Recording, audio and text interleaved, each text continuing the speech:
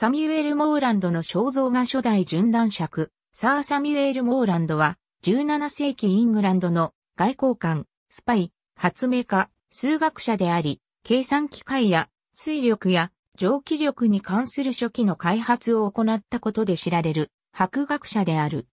父、トーマス・モーランドは、バークシャーのサラムステッドで教区牧師を務めていた。サミュエルは、ウィンチェスターの学校とケンブリッジ大学のモードリン、カレッジで学び、1649年にフェローとなった。特に数学とラテン語に長け、ギリシア語、ヘブライ語、フランス語も堪能だった。ケンブリッジで講師を務めていた頃、生涯付き合うことになるサミュエル・ピープスに出会った。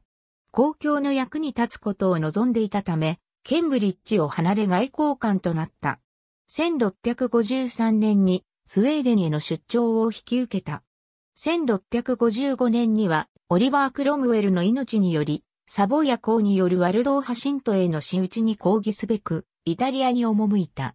その後しばらくの間ジュネーブに残って、大使的役割を果たしつつ、一冊の本 The History of the Evangelical Churches of the Valleys of Piemont を書いた。イングランド共和国のスパイの元締めをしていた、ジョン・サーローの秘書を務め、イングランド共和国政府に幻滅するようになった。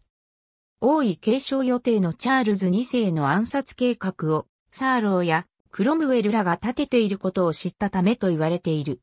そこで、スパイ術と暗号理論を駆使し、二重スパイとなって、王政復古実現のために働くようになり、王政復古後も王に取り立てられるようになった。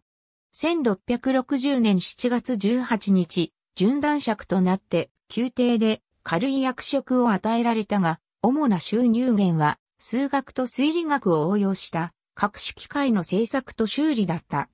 次のような機械を作っている。サミュエル・モーランドの発明した A ニューマルタプライイングインストルメント1677年以降ロンドン中心部に住んでいたが、1684年に近郊に移った。